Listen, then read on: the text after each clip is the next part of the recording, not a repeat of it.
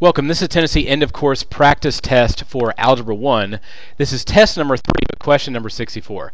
The question says Chris and Jasmine are packing a bushel's worth of tomatoes. A bushel is about 8 gallons um, into containers that hold 10 tomatoes each. The remaining number of tomatoes in the bushel is modeled by the equation y equals 285 minus 10x, where x is the number of containers and uh, y would be the number of tomatoes left which table best represents the relationship between x and y. Now, to me, uh, there's two very simple ways to do this one. The first one is just to plug in your x values that they're giving you and get your y. So if I wanted to know what the 2 is here, I'd take my equation and plug in a 2, because that's what it says to plug in, and then I end up with 285 minus 20, or 265. So when I plugged in 2, I should get 265. Similarly, if you plugged in 4, you'd end up with 245. Uh, 6 would be 225, and 8 would be 205. The only group that follows that logic is A. C, D, and B give you different answers than that, so the answer has to be A.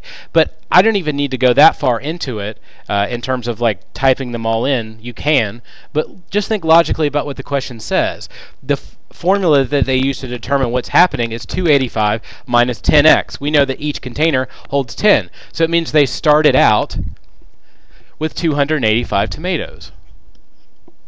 And from there, all they're doing is taking away a certain number of containers every time. Now, two containers would be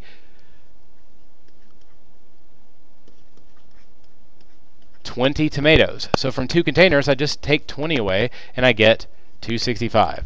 So that would be two taking uh, taking two containers away. If I took 20 more away, which would be four containers, I end up with two 45. And you go on down from 6 to 225. So really just subtracting the number of tomatoes that you have in each container from your original amount of 285. And uh, let's look at the other answers just for a second to see how maybe they got the answers. The change here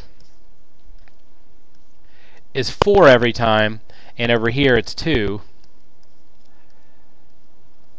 I'm not really 100% sure where they came up with the idea that that would be the case. I guess because they're looking at the number of containers. I see it now. So they're saying, okay, so it's two containers, so it's two every time, so let's just subtract two. So they're assuming like almost that each container only holds one tomato. Um, in the next set, they're going down by two every time. So it's the same type of logic. They're just taking these numbers and subtracting them over. A- in this case, they're going down by 10 every time. So they're almost thinking of it as one container at a time decrease here. So just adjust for it a little bit, think about what the question is asking you, and this is a really easy question to get some points on.